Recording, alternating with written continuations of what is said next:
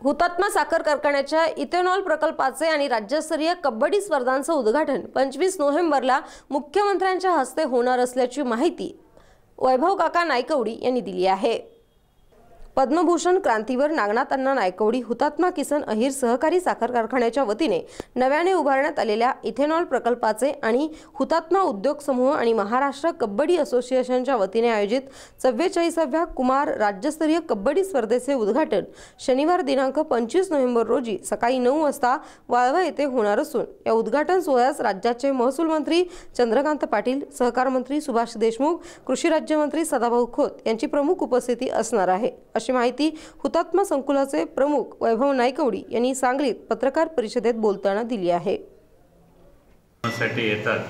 त्याचबरोबर ते राज्यस्तरीय क्रीडा स्पर्धांचं कबड्डीच्या क्रीडा स्पर्धांचे उद्घाटन करतील. या कार्यक्रमासाठी अध्यक्ष म्हणून चंद्रकांत दादा पाटील महसूल आणि पुनर्वसन मंत्री असतील. त्याचबरोबर राज्याचे पालकमंत्री माननीय देश माननीय देशमुख साहेब त्याचबरोबर राज्यमंत्री सदाभाऊ खोत पतंगराव कदम विजयसिंह मोहिते पाटील खासदार राजू शेट्टी खासदार संजय काका आणि जिल्ह्यातले साखर कारखाना आणखी लोकप्रतिनिधी अशी सगळी मंडळी आणि क्रीडा क्षेत्रातली मंडळी या कार्यक्रमासाठी हजर राहणार आहेत. या कार्यक्रमाच्या अनुषंगानं वाळवा आणखी सांगली जिल्ह्यातील क्रीडा रसिकांना सुद्धा एक चांगली कबड्डीच्या स्पर्धा पाहाव्यास मिळणार आहेत या ठिकाणी राज्याचा संघ निवडला जाणार आहे आणि तो राष्ट्रीय क्रीडा क्रीडा स्पर्धांच्यासाठी जाणार आहे.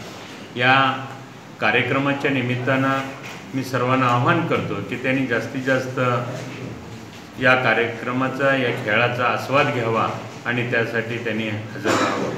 हा इथेनॉल प्रोजेक्ट साखर कारखान्याचा जो आहे तो चव्वेचाळीस कोटीचा आहे आणि यापासून मिळणाऱ्या उत्पन्नातून ऊस उत्पादकांना जास्तीत जास्त फायदा होणार आहे. त्यांचा ऊसाचा दर वाढीसाठी सुद्धा याचा मदत होणार आहे. तेव्हा ऊस उत्पादक सुद्धा यासाठी मोठ्या संख्येनं हजर राहणार आहे.